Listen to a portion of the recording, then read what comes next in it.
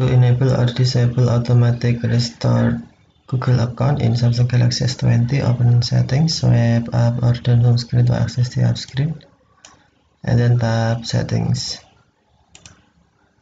You can also open the settings screen from notification panel, swipe the notification panel, and then tap settings icon. Scroll down settings screen, find accounts and backup. And then tap accounts and backup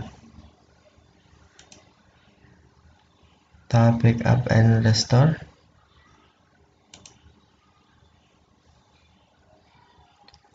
To enable automatic restore uh, on Google account tap automatic restore switch until blue or to disable tap switch until white. Restore up settings and data automatically when app is reinstalled. Okay thank you for watching. Have a nice day